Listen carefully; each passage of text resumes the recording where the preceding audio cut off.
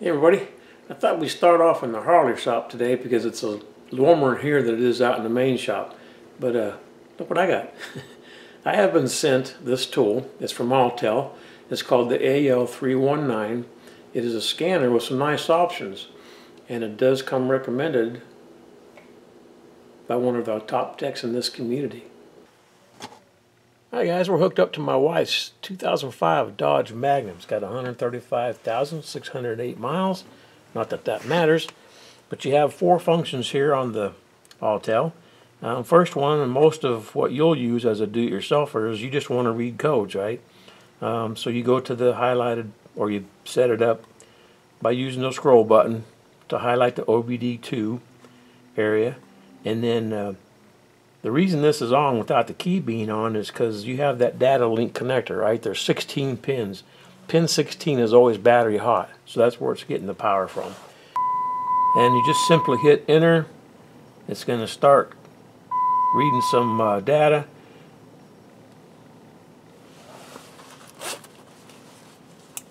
All right, in my car, no codes are found.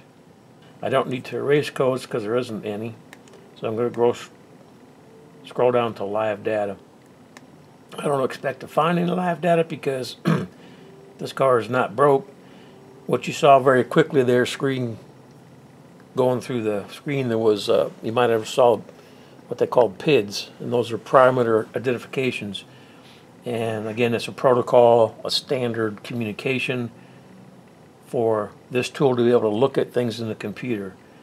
Um, so what I want to look at this point is complete data set, or we could change the units of measure, which I've already changed or made English, so we can understand it here in the States.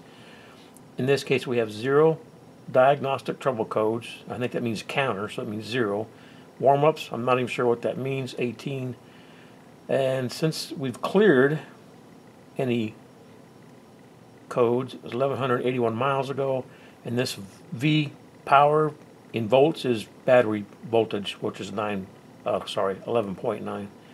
All right, that's all that means. Um, if there were trouble codes, there would be, you know, different numbers here.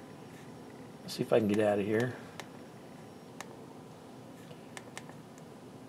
All right, so freeze frame data, and this is where this tool kind of shines, both in the live data and the freeze frame data. You don't have this on um, other inexpensive versions of a reader like this one. For instance, the other code reader I have from Napa was $55 and it doesn't have this kind of options. No freeze frame data, and this comes from the computer. If there was a problem, if I had a check engine light come on, this would capture that and you could read the moment the fault was tripped, um, anything out of parameters, then you would be able to, to see it here. In the I/M readiness, again, enter. My check engine light is off. And a lot of, of things I've noticed on this car is NA. And that is not a limitation of the tool, but limitation of this old car. What that's saying is that these monitors are not being, or these components, these devices are not being monitored uh, because an 05 Dodge didn't require it at the time. Um, but it does say that my uh, check engine light is off. And I'll put down below what MIL stands for. I can't remember, but I'll put that I'll put that down here. uh, miscounters, uh, fuel. I'm not I'm not sure what CCM means. Again, I'll put this down below if I can find out.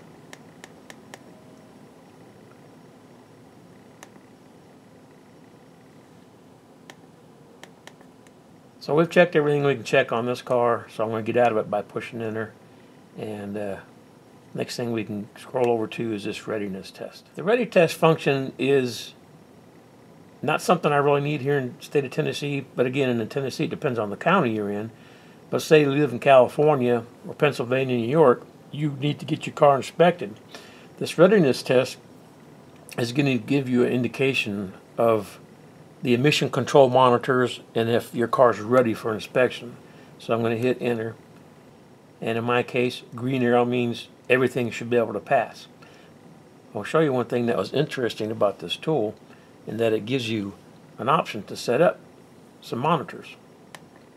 So if I can get out of here, here's an option that um, I'm not really sure why anybody would need to use this, but what has scrolled down, what has highlighted, is it's called allowed INC monitors, and I have to tell you the truth, I thought INC was a technical term, but it's nothing more than incomplete monitors.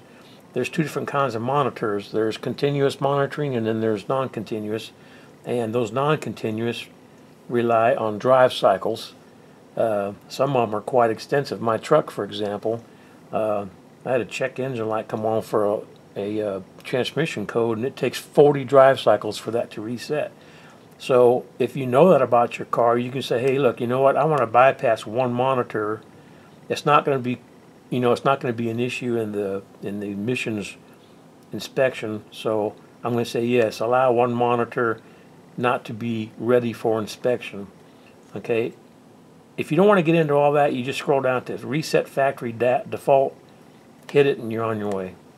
All right, so I wish I had some more cars to show you. Uh, uh, not that I want a trouble code on one of my cars, but it would be nice to see a code and then investigate that further. But you know, for 40 bucks, I think it's a great tool for a do-it-yourself. Uh, it's a great tool for a do-it-yourselfer. The person that recommended this was Keith at New Level Auto. He's got two in his truck, um, and quite frankly, I think one is belongs to his son for a learning tool but uh, it has some options that he likes, and that goes back to the, uh, the live data and the freeze frame data that this tool offers. Other people who have um, reviewed the tool are professional shops, and they have said they've used it to go to the parking lot, for instance, and to diagnose or verify customer complaint. So it is a useful tool, and I think because of the cost, it's something we can all you know, afford. All right, guys, thanks for coming by the shop again. I appreciate your views. I, I uh, look forward to your comments. It's always fun to see who's been hanging around. And um, I'll see you in the next video.